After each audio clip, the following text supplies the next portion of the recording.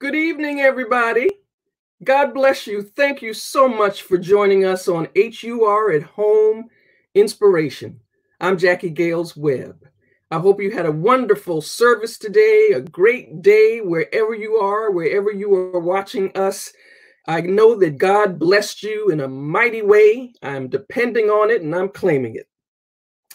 As we go about our daily lives, uh, over 10 million coronavirus cases have been confirmed worldwide. Several states are proceeding with their phased openings. Here in the DMV, some churches and stores have been opening. African American families have been gathering here in DC this weekend to celebrate our culture. Many were out to participate in debates around the Emancipation Memorial statue in Washington's Lincoln Park, while most of us are just trying to safely carry on with our lives. Please, please be safe. Do not be afraid or ashamed to tell someone that they are standing too close. And if you're in a situation where you don't feel safe, where there are others who are not acting appropriately, if you tell them that you feel uncomfortable and they don't do anything and it doesn't matter to them, please leave. Just leave. Just go. It's your life. It's your family's life that we're talking about. Did you see that story about the Starbucks employee who told the woman at Starbucks it was their policy you must wear a mask in the establishment? The woman got mad. She uh, recorded the employee on her phone and posted it, uh, a horrible post on Facebook denouncing the employee for demanding that she wear a mask. Much to her surprise, it backfired on her. There were so many people on her post that was in favor of the employee. And as a matter of fact, they raised over $32,000 to give that employee a tip. More good news the United States House of Representatives voted in favor of DC statehood on Friday, uh, 232 to 180. And some more good news the Howard Gospel Choir of Howard University was one of the feature performers during the rebroadcast of the television special Taking the Stage African American Music and Stories That Changed America. This was the program that happened right before the launching of the Smithsonian National Museum of African American History and Culture. And if you missed it, you can see it on Hulu. And, and speaking of um, uh, cable or on demand things, um, Hamilton, the musical, is going to be coming out on Disney Plus July 3rd. I actually saw it at the Kennedy Center here with the touring cast. So I'm really interested in seeing the original Broadway cast although I really didn't want to subscribe to another streaming service, but I did. um, and speaking of music, musicals and music and choirs and gospel music in our second segment of HUR at Home Inspiration, we'll talk with Dr. Ricky Dillard, Grammy and Stellar Award nominated artist and choir director extraordinaire uh, he's been ministering to us for many years, and it's going to be a pleasure. It's always a pleasure to talk with him.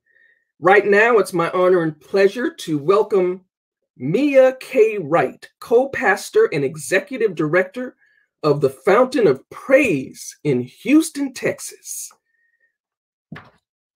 Pastor Wright, welcome. Oh, hello, is my mic on? Just want to make sure You're good. We can hear you. Oh, and now we can't hear you for some odd ah, reason. Okay, there we go. I hate when that happens. Am I good? I yeah, we're getting there. Thank you for having me on. Uh, HUR at home, what a blessing it is. I was just thinking about how the technology works so that we can really communicate and reach people just where they are. Yes, Thank God for the technology. And thank God for you. The last time all of us here on this streaming service saw you was at George Floyd's funeral that was held at your church. You and your husband presided so beautifully over that service.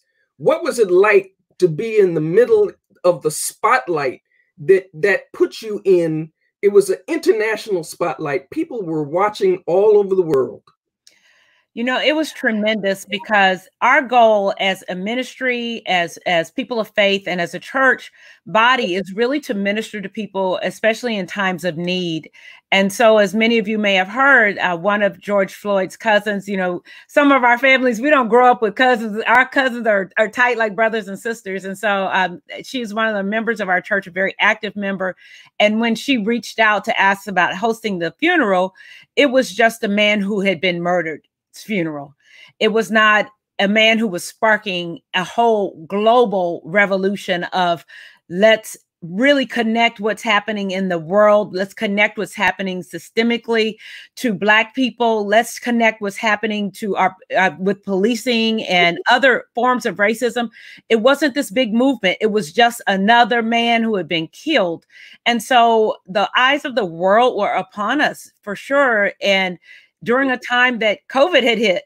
and so, you know, being able to host the services, it was a lot of behind the scenes work to, to really be able to provide a safe and secure environment for people to be able to grieve and to uh, honor this man's life who was sadly sacrificed.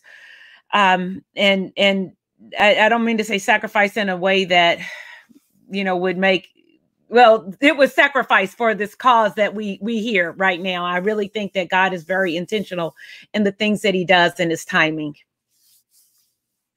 How is the family member who's a church member and how is the family doing of george floyd?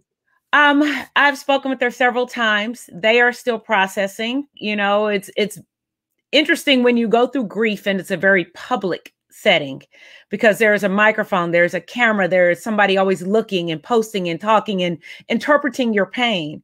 And so now for all of them, they've had a moment to really take a step back and to process and to start to process. They've lost somebody that they love, someone who was, you know, a big big part of their family someone who was whose uh whose life was intricately woven into all of their lives and so they're processing it and it will take time no one can put uh, a day or a month or or how long a time period it will take for someone to overcome their grief.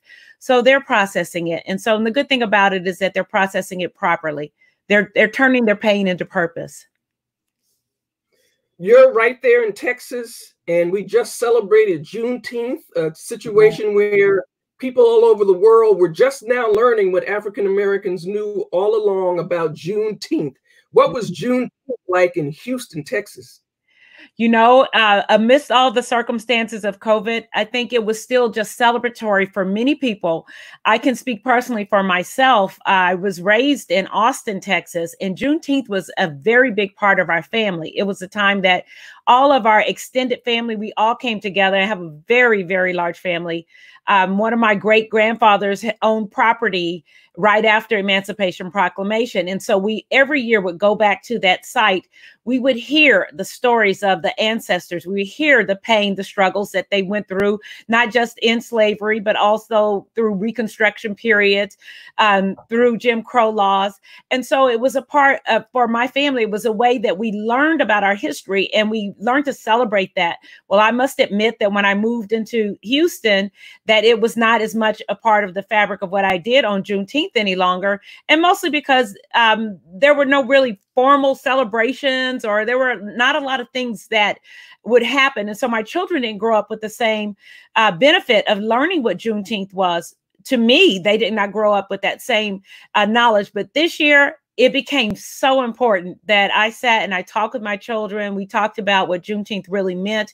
We talked about um, how the slaves were, you know, uh, got a, had another year and a half, almost two years of free labor. How the slave owners received extra labor because the word did not come to Texas because Texas was still in crop producing season. So, um, so I think for a lot of people, it was enlightening. It was good. It was it was being able to connect our history once again and say, wake up, especially in my generation, wake up and make sure that our children know our history because if they're not teaching it in the school districts, then guess where the history has to come from? It has to come through those families that are telling and retelling their stories.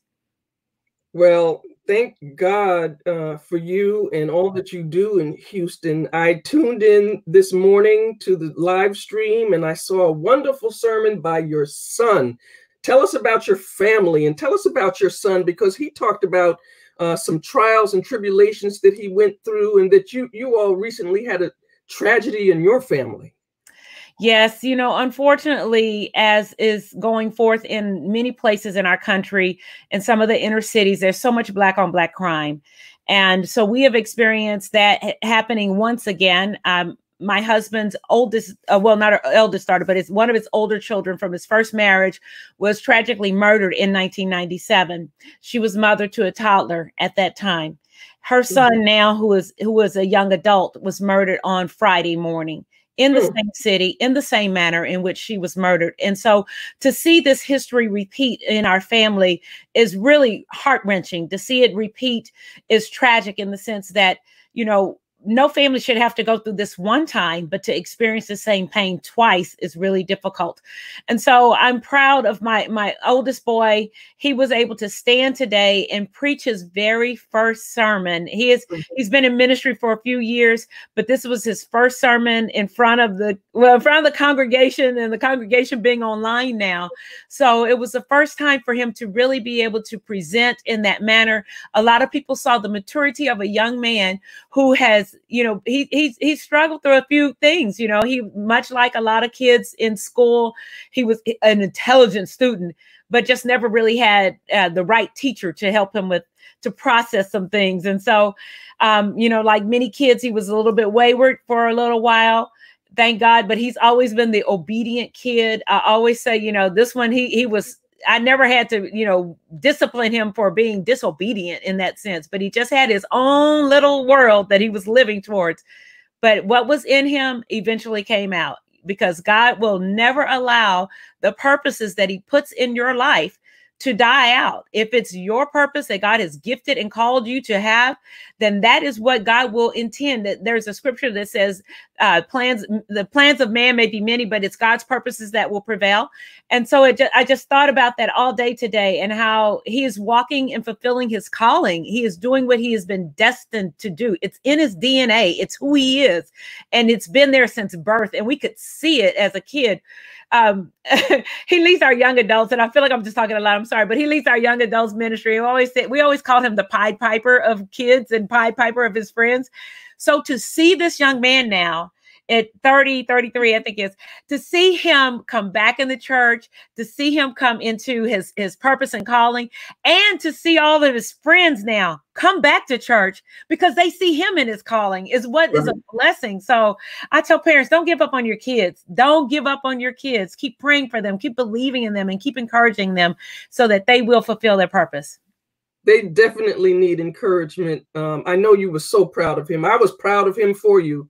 Um, but I, I'm concerned about our young people. I, I think back to when, you know, many moons ago when I was young and I was worried about uh, nuclear war, that Ru- the Russians were going to drop a bomb. Mm. We have young people now that are afraid of being stopped by the police or being murdered by other neighbors.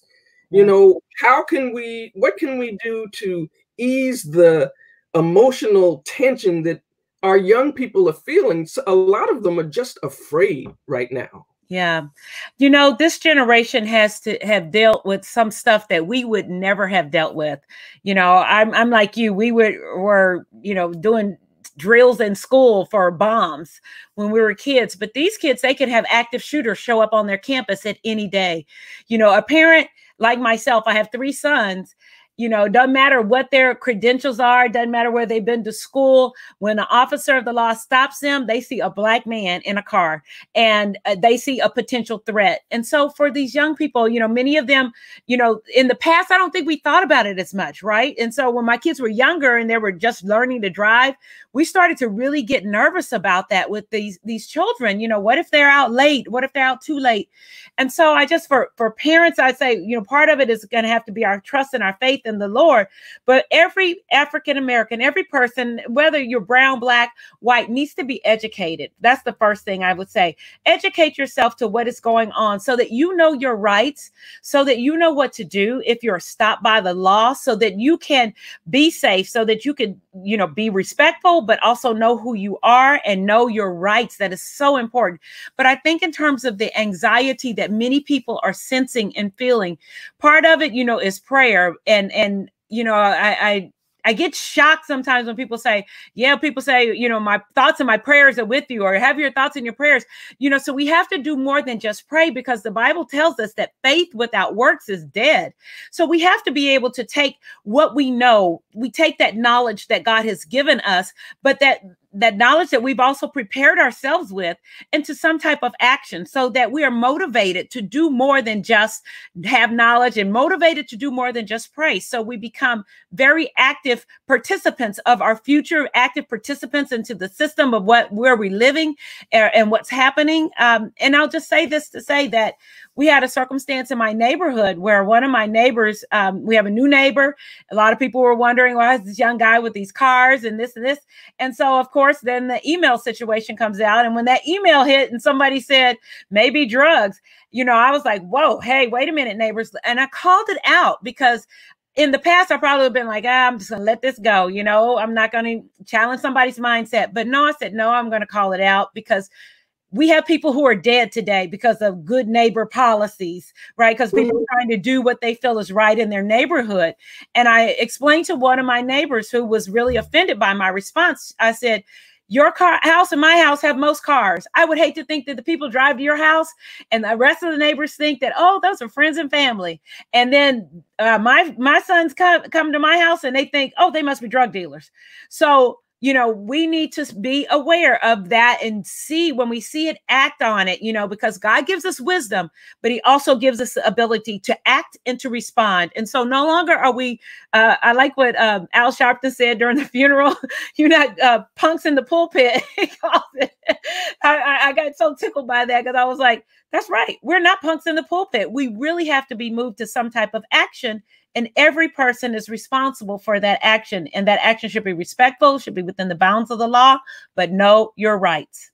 So, one more question before I bring Ricky Dillard in. Your husband, Pastor Remus Wright, talked about the church's social justice initiative. What is that?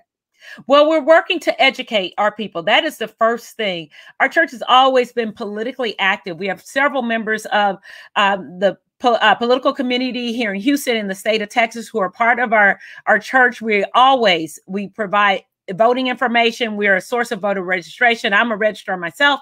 All of us are very active and engaged in the political context, but we have not really moved so much in the social piece, social justice piece, really to say, are people educated? If they're not educating them in the schools, then how do we give people the education that they need?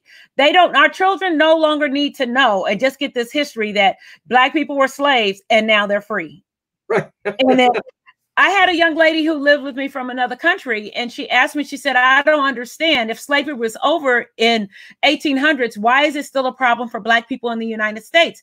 And I realized it's not just a problem for somebody out of there, it's a problem for somebody, you know, out of another country. It's a problem for our people. Our kids don't understand why is it. And we can't say the man is keeping us down. You know, there, there's terminology and there's words, and we need to recognize it and understand what that is. So our goal is to educate educate our people so that if they're victims of racism, if they see racism, if they um, see bias occurring, that they would be able to speak to it and help educate others. And so we have a reading list of books that we'll soon be publishing, uh, a list of books that they could start out reading, how to begin a conversation with your coworkers about racism, how to not avoid that big elephant in the room, because sometimes, you know, especially when we go back to our jobs, there's going to be a big elephant in the room. And how you, how will you enter the conversation and like, you know, not run like, I hope they don't ask me nothing about this because you need to be educated so you can talk about it. So that's our goal is really to, to help people be more aware, to help them be more engaged in the conversation and where the conversation needs to happen, start it. So whether it's in healthcare, if it's biases in economics, if it's biases in the judicial system or the policing system, our people need to be aware of what is the terminology we need to know and how do we speak forth to make changes.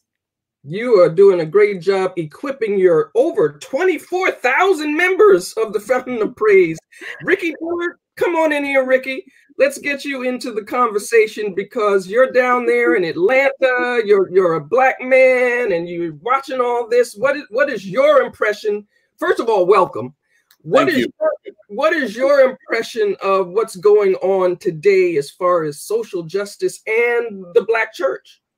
It is disheartening uh, of some of the things that we've just been seeing in the last couple of months uh, toward Black people and people of color, and just the, the whole tone of racism and injustice and hatred and all of the things that we have endured. We thank God for our past as we have walked through so many valleys that the Lord has been with us through.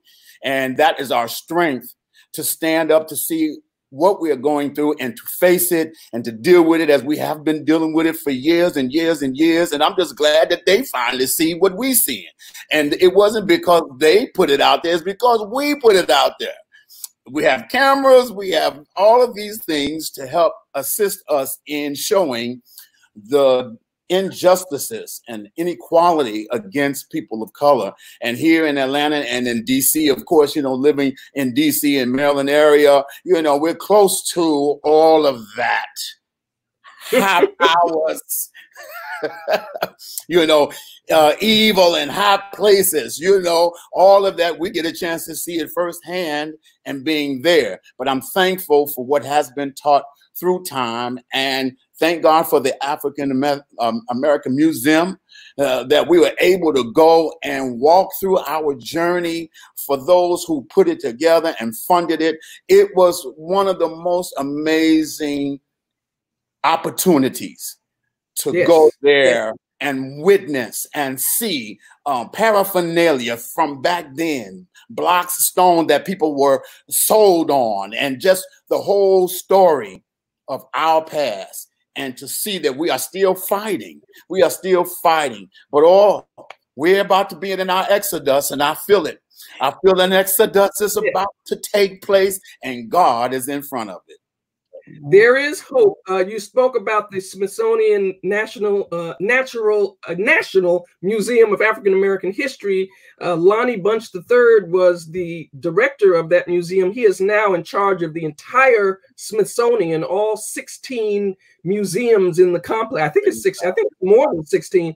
Um, and he spoke recently about how all of these challenges he sees hope through this. That we can definitely get through this. What amazed me, the awakening I had, Pastor Wright and, and Ricky Dillard, was that I've grown up and I looked at these Confederate monuments all my life and was always disturbed by it. Um, as a matter of fact, we didn't move, I didn't move my family to Virginia because I didn't want my children going to Robert E. Lee High School. mm, mm, yeah. I kept going. Yeah. All these years we've kept it in. Isn't isn't that it seems a little odd to me now. I, I don't know whether to be ashamed of that or you know, I don't know how to feel about the fact that now all of this is coming out and why didn't we speak about it before? And if we did speak about it before, why nobody listened? Any comments? You know, um, I someone asked me why was like George Floyd's circumstance different. You know, we've seen and we've heard, we've watched other shootings, uh, police to to black men, unarmed black men, but why was it different? And i've been kind of looking at different different thoughts and perspectives on that but i think one of the things that we saw was was the whole circumstance of covid really caused us to be still much more still than normal right and so mm. we cannot overlook what we see at this point because we have nowhere else to run and hide you know you can't say well i'm so busy i don't see this doesn't affect me but the thing that was different about this video was that we saw both men's faces we saw both of their faces and witnessed the humanity. Yes. Right? One dehumanizing, gosh, can't get a word, dehumanizing the other one. I didn't say it right still, but the other one crying out for mercy, you know, and it it made people see these are two human beings and one acting with such callousness and hatred and so it kind of woke it up again but i really applaud the efforts of these millennials and these gen z mm-hmm. Y's and Z's who are getting out here and they're saying, Why have you all accepted it? I'm a Gen Xer, but why have you all accepted it? You know, it's like we've been fed bits and pieces. My mother came through civil rights. And so to see, you know, Brown versus Board, Board of Education, her being able to go to a school if she wanted to go to a, a, a to an integrated school you know she so it was like here's here we're feeding you something here. And so be satisfied. And here here's a civil rights so you can vote now. Be satisfied. And then yeah. for my generation here's some affirmative action. So here be satisfied. And so for some of us we were satisfied and satisfied to the extent that you know many of us moved out of the inner city. Many of us saw our lives get you know come up the uh, income for you know middle class blacks. All of that start to expand. It affected some of us but it didn't affect the masses of us. Sure. And so now we still had, you know, uh, the policing, we had pipe to prison uh, from the school to prison pipeline happening. We see all these other things that still affect us. And it's affected us to the impact that this younger generation is saying, wait a minute, what's really going on? so they have stood up to say, and, and it's it's in the spirit of the the Xers and and the boomers to say, you're right, we've been silent too long.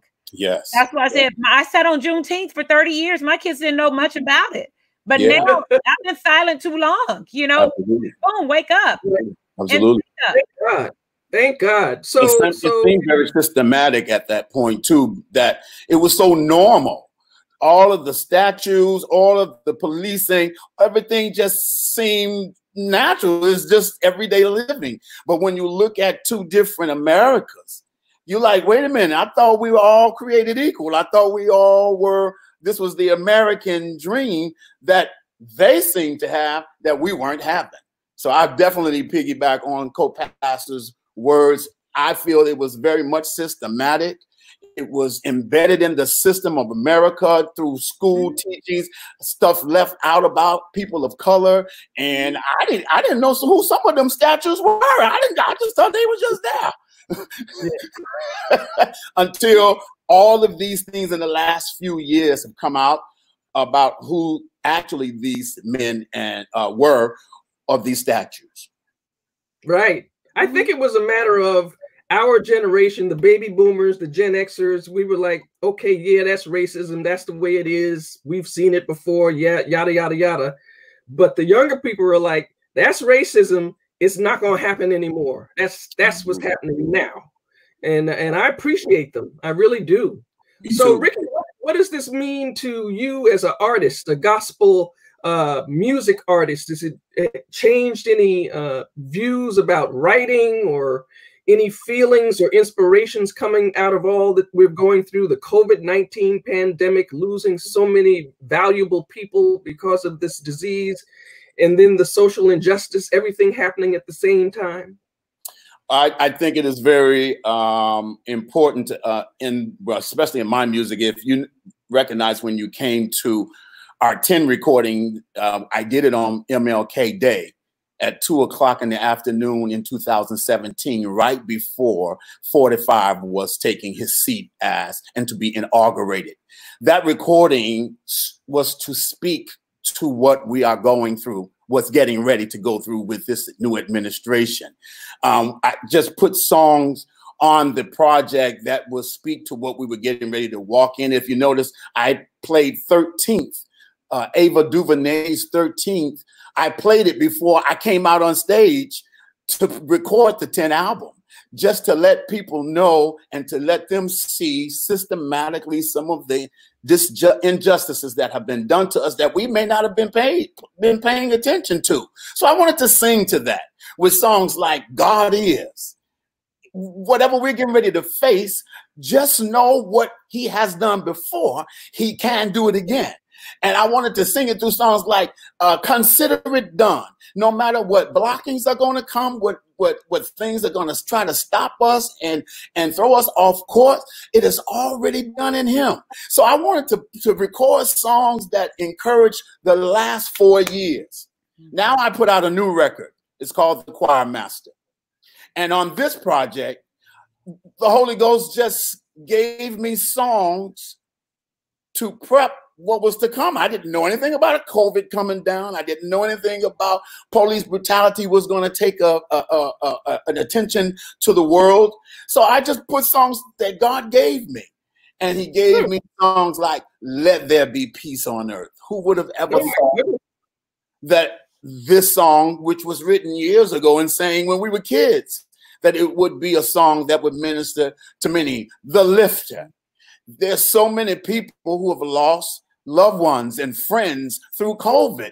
He is, I will lift up mine eyes to the hills from which cometh my help, and knowing all my help comes from the Lord. He is the lifter of my head. It is so many songs that the Lord gave us on the Choir Master album to sing to the now. And I trust and hope that every listener of this project will hear something that will speak to a situation within the times that we are now living in.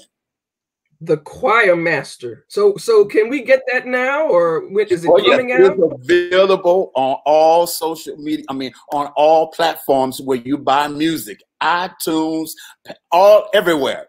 You can get this choir master album. It is a phenomenal album. I thank the Lord that He used us to put it out. And it also is to kind of take me back, you know what I'm saying? In the last 10 years, you know, the CCM sound and the praise and worship have overwhelmed us. And I felt like the soul, the soul of who we are the soul of what we have written in our experience and walk through time and life. Our ancestors and those who came before us. You know, we wrote songs that sang to our situations and our coming out and our coming through and God being with us and providing and being away. These songs, just the whole heart and soul of the music. I wanted to kind of bring that back to the choir and put the choir back in the loft, which seemed to have been invisible in the last few years. Mm-hmm. Well, I see Robin Scott says, yes, sir. So I guess she's definitely going to go out and get the choir master. Thank God. I, I, want to ask you about um, uh, you're a dynamic woman of God. You are co pastor of your church with your husband. And lately, I've been seeing a lot of first ladies becoming co pastors. Are we witnessing an evolution of the woman in the black, black church? I think that um, well, first let me let me start by saying, Ricky, I'm about to download that right now. um, and and and how music always has its pulse, its finger on the pulse of what is happening in our lives and in the world. Music always just it, it reaches us in places that we can't articulate but you can always think back to a song, right? So somebody says, Oh, I remember my heart was broken in I remember so and so was playing this song, you know, and you can remember it. Music is such a critical part of our life. So I honor you for what you do and how you do it in the gifting that God has given you because you're an incredible, incredible uh, artist of God. So I thank God for you and all that you have given. Um, to the to the first ladies who have become pastors' wives, much like myself, um, I did not think that this would be a role for me. I didn't think I would be married to a preacher. God could not have given me this plan because I would have run, run, run so I still kind of laugh because I'm like, God, you still tricking me on stuff, right? You know, it's like back to that DNA. What's in your DNA? What's in your purpose that God has created for you?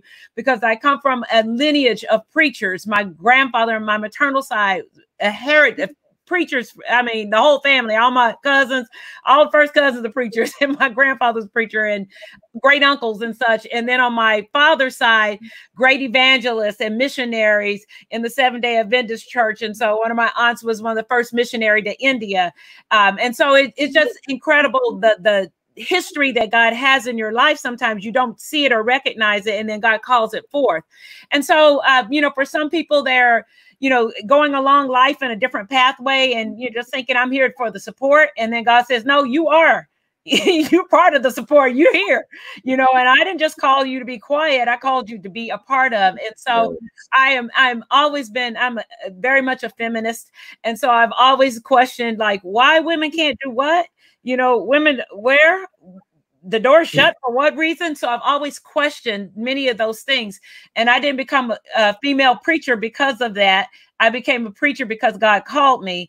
And then I remembered, oh, I'm a woman. Wait a minute. Am I supposed to be preaching? And I really mm-hmm. struggled with this paradigm shift for me because back in 2000, so 1999, 2000, there were not a lot of women really serving in this capacity. There were a lot, uh, but you know, publicly in this capacity on this type of uh, stage or platform, it was not a whole lot. But I thank God for those who came before me. You know, for the Elaine Flakes, the Claudette Copelands, the Cynthia Hales, you know, the uh, Joanne uh, Brownings, for all of them, Jessica uh, Ingram, all of them who who, uh, who had laid a, a groundwork of breaking barriers for women to be able to do this. Um, that I, I think it is a paradigm shift. But um, I will say this: when I was in seminary, a lot of my uh, pastoral friends would ask me, they would say, "Hey, could you call my wife? I like how you were called. God called you. Could you call? What do you mean call your wife? I don't call wives. I'm like, I don't call wives.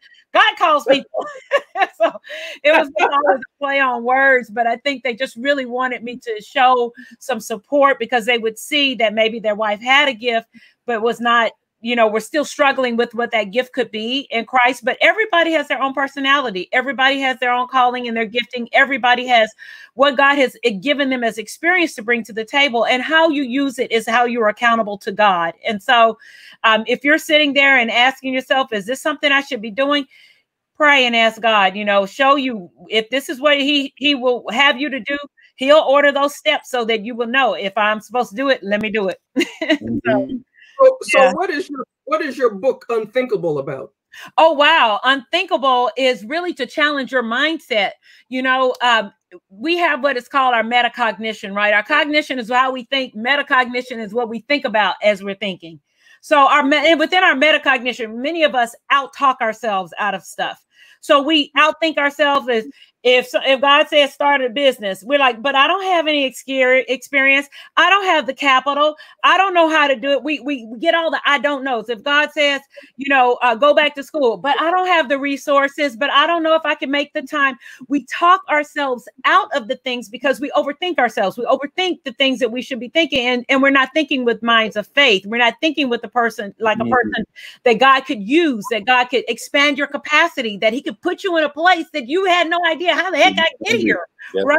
And Ricky, I mean, all of you guys are probably like me. You've been in some places and you look around, you kind of like, really? Am I in this room?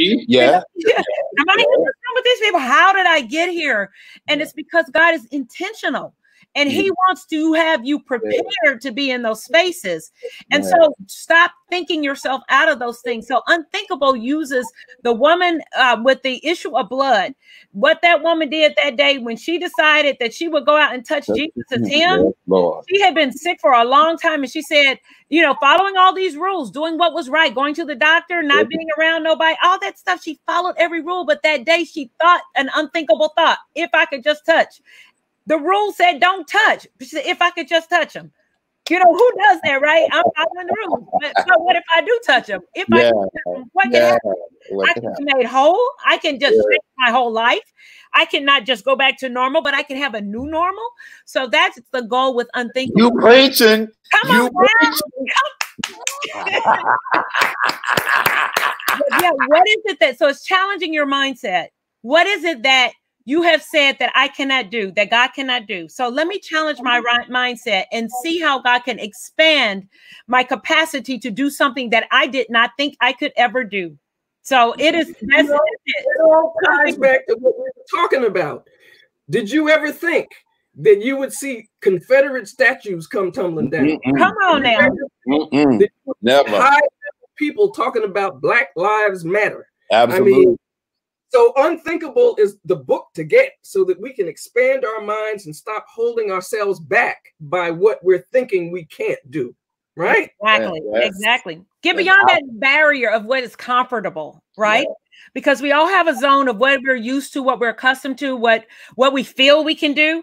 To go beyond that, you never know what you can do it, until you try it. right? Now faith. It's that now faith. Ricky, what made you decide you're gonna make a CD? I'm gonna I'm gonna cre- record. I'm gonna take this fire and not just do you know Friday yeah. night musicals. I'm going to record.